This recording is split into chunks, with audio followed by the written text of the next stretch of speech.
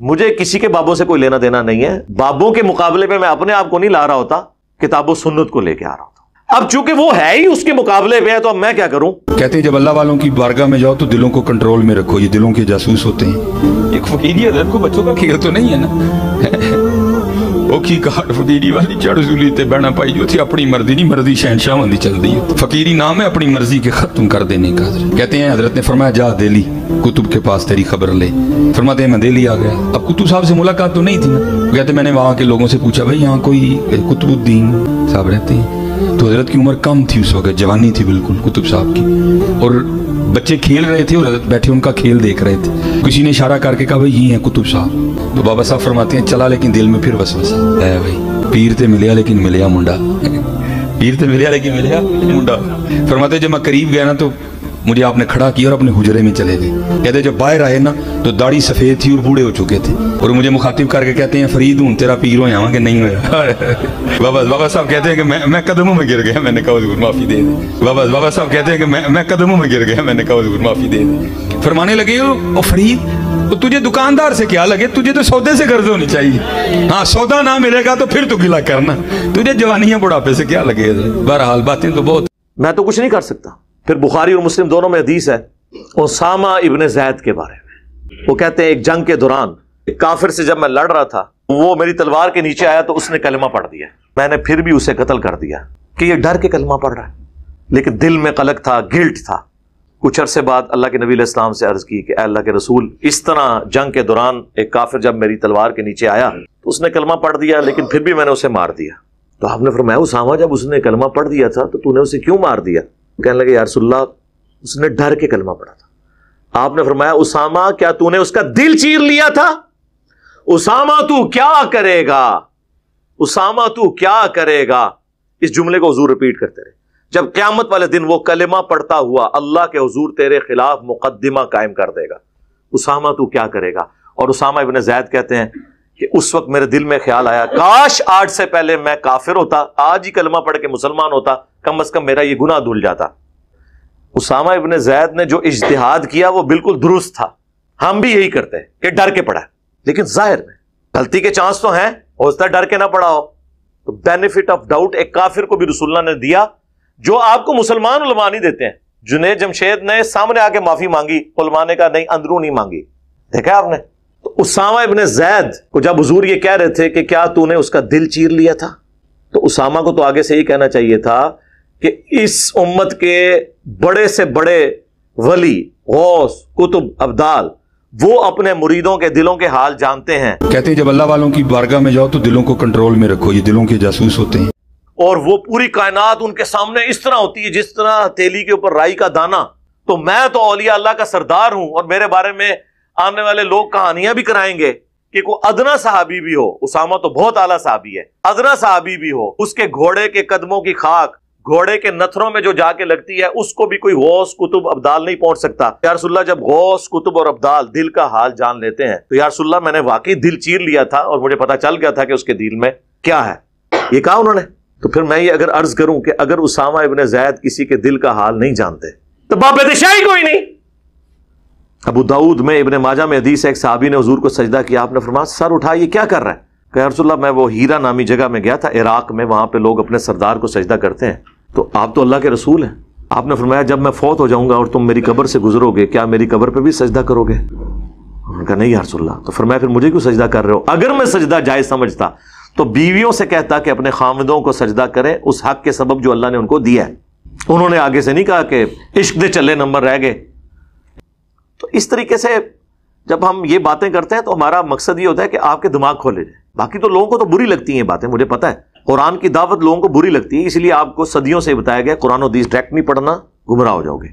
ये उसका equivalent word था, क्योंकि जो कुछ इन्होंने बताया था, वो उसके बिल्कुल खिलाफ। लेकिन अगर आप कुरान सुन्नत को पढ़ेंगे तो वक्ती तौर पर आपको कोफ्त होगी। जिस तरह एक बंदे को जब फोड़ा, पीप ज़्यादा हो जाता है ना, उसको जब कट लगाया जाता है ना, उस वक्त उसे एक तकलीफ़ ज़रूर होती है। लेकिन जब उसका जख्म साफ़ हो के एक डेढ़ हफ़्ते में रिकवरी शुरू हो जाती है ना, फिर वो कहते हैं, यार, मैंने तो इतने महीने तकलीफ़ काटी इसकी वजह से। जिस मुजार से गुजरता था, झुक के गुजरता था। हाँ जी। अगर मैं वो गाड़ी का ड्राइवर था तो जो मजार आता था, वो तो दस रुपए दूर से ही सड़क पे फेंक के जाता था। अल्लाह का शुक्र है, तोहीद पे आए तो सुकून हो गया, ये फोड़ा जब से खत्म हुआ है। एक अल्लाह का हो गया हूँ। लेकिन उस वक्त चीरा लगते हुए तो तकलीफ़ होती है जी, होगी, मुझे पता है। अब अगर मैं कुरान से यह आयत बयान करूँ सूर्य अलनाम की आयत नंबर 15 जो सूर्य यूनुस में भी मौजूद है सूर्य अजुमर में भी उल इन्नी अखाफु इन आसई तो रबी आदाब यौमिन आजीम नबी, तुम फरमाओ कि अगर मैं भी अपने रब की नाफरमानी करूँ तो मुझे भी इस बात का डर है कि बड़े दिन का अजाब मुझे भी आ पकड़ेगा। अल्लाह अकबर। मेरे भाई, जब ये मैं आयत बयान करता हूँ और इसके मुकाबले पे आपके बुज़ुर्ग ये क्लेम करते हैं कि हम उस वक्त तक जन्नत में नहीं जाएँगे जब तक अपने मुरीदों को ना लेके चले जाए। जो हमारे सिलसिले में बैत हो गया, वो क्यामत वाले दिन बगैर हिसाब किताब के बख्शा जाएगा। और मैं जब ये हदीस बयान करता हूँ, इसको स्पोर्टिव ये तो नबी इस्लाम के बारे में आपने फिर इसे ब्रीफ किया। सही मुस्लिम की हदीस कि जिसे क्यामत के दिन उसके अमल ने पीछे छोड़ दिया, उसका नसब, उसकी रिश्तेदारी उसे आगे नहीं लेके जा सकेगी और बुखारी और मुस्लिम की मुतफकुन हदीस, ऐ मेरी बेटी फातिमा, इस बात पे मत अकड़ना कि तुम अल्लाह के नबी की बेटी हो। अगर अल्लाह ने तुम्हें पकड़ लिया तो मैं अल्लाह के हुजूर तुम्हारे कुछ काम नहीं आऊँगा।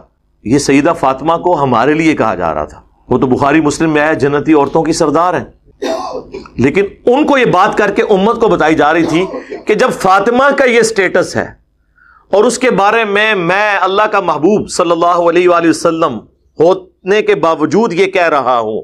तो अब जब कभी कोई ये कहे ना कि जो मेरे सिलसिले में बैत हो, मैं उसे जन्नत में ले जाऊँगा, मैं उस वक्त तक जन्नत में नहीं जाऊँगा जब तक कि उसे ले ना जाऊँ तो आपने इंजीनियर साहब की बात गौर से सुननी है कि बाबे तो शाही कोई नहीं। जब हज़रत फातिमा और रसूलुल्लाह सल्लल्लाहु अलैहि वसल्लम के बारे में ये आयात और अदीस मौजूद हो। इसी तरीके से बुखारी और मुस्लिम में एक हदीस है नबी इस्लाम का एक गुलाम था, मिदअम, जो सवारी का कजावा कसा करता था, सफ़र हजर में, हजूर को वज़ू करवाता था। हजब खैबर के मौका पर उसे एक नामालूम तीर लगा और वह शहीद हो गया। और साहबा ने कहा, तुम में शहादत मुबारक हो। ये अल्फाज है। बिल्कुल सही कहा, क्योंकि साहबा दिल का हाल तो नहीं जानते थे। आपने फरमाया, तुम इसे शहादत की मुबारक दे रहे हो, जबकि अल्लाह ने मुझे दिखाया है कि इसके ऊपर आग की एक चादर है, जो इसने माले गनीमत में से चोरी की थी। और अल्लाह ने यह भी लिहाज नहीं किया कि हजूर का खादिम है, चलो एक चादर माफ़ कर दे। नहीं। इसलिए मैं बोलता हूँ, आज अगर कोई जुर्म करता है ना, उस लेवल का जुर्म अगर रसुल्ला के जमाने में किसी ने किया, वो बड़ा मुजरे क्योंकि उसे हजूर की सोबत मिली हुई है। तो साहब कराम उठे, अपने घरों को गए, अगर किसी ने एक रस्सी का टुकड़ा भी ये कह के उठाया था ना, कि इसकी तो कितनी वर्थ नहीं है माले गनीमत में, क्योंकि माल गनीमत का सामान वक्त के हाकिम ने तकसीम करना होता है, और उस वक्त रसुल्ला थे वसल्लम, उनकी जात के बगैर नहीं हो सकता था।